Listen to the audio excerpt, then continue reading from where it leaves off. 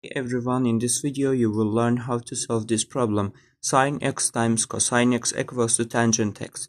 I saw this problem at internet and I really like it. That's why I share it with you. Firstly, from trigonometric identity we know that tangent x equals to sine x over cosine x. And let's put it above. Sine x times cosine x equals to sine x over cosine x. Then,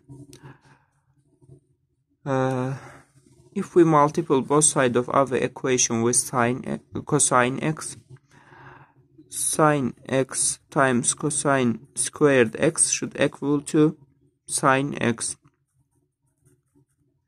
Then, sine x times cosine squared x minus sine x equals to 0 and sine x are same.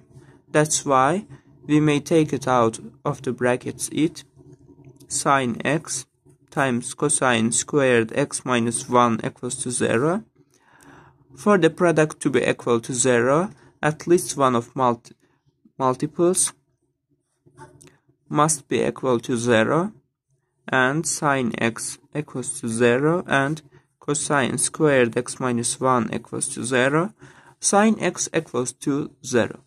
We have rectangular coordinate system. This is sine axis and this is cosine axis. And we have unit circle at here. Sine to be equal 0 at these dots. These dots are 0, pi, then 2 pi, 3 pi or something. Then x equals to pi n and n belongs to integers.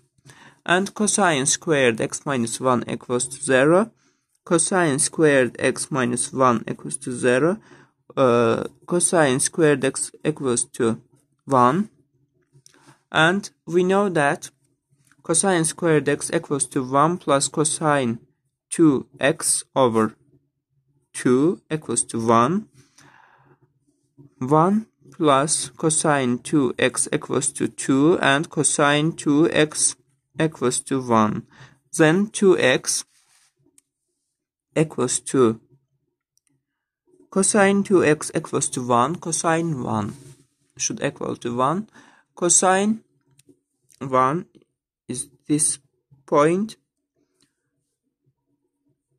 0 plus 2 pi n equals to 2 pi n and n belongs to integers and x equals to pi n n belongs to integers we have two solution and they are same x equals to pi n n belongs to integers and x equals to pi n n belongs to integers.